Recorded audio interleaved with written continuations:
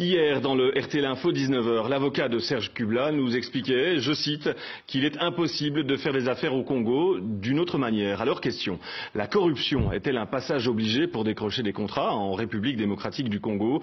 C'est en tout cas ce que pensent de nombreux observateurs, dont des Congolais. Jean-Pierre Martin, Vincent Wilbert.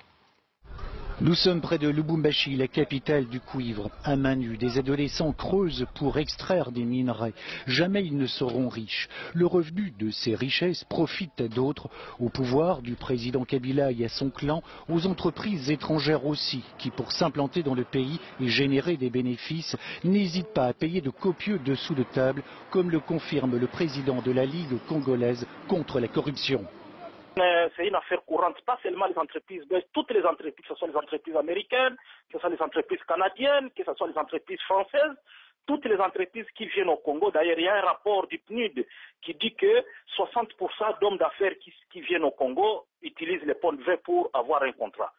Transparency International mesure la corruption sur la planète. La République démocratique du Congo est 154e sur 175, c'est un des États les plus corrompus. Le professeur Omasombo nous donne un exemple. Là-bas, les députés s'achètent 5 000, 10 000, 30 000 dollars pour voter les lois favorables au régime. C'est un des gros problèmes du Congo. Le rapport entre les appétits et les convictions. On sait que la loi est mauvaise, mais on la vote pour obtenir un 5 000 un 10 000, un 20 000, voire même un 30 000. Ça s'appelle un régime de, de, prédation Le mot n'est pas fort. Ce sont des pillards, ce sont des voleurs. Ils détruisent, mais au même moment ils disent qu'ils ne sont pas coupables. Voici encore un exemple de corruption. Lors d'un précédent scrutin électoral, dans ce bureau du ministère de l'Information, un fonctionnaire nous réclame 50 euros en plus des 200 que nous venions déjà de payer pour obtenir une autorisation de tournage.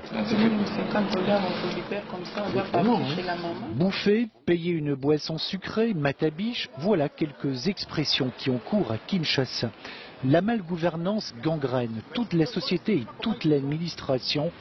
Elle désespère aussi une population à bout.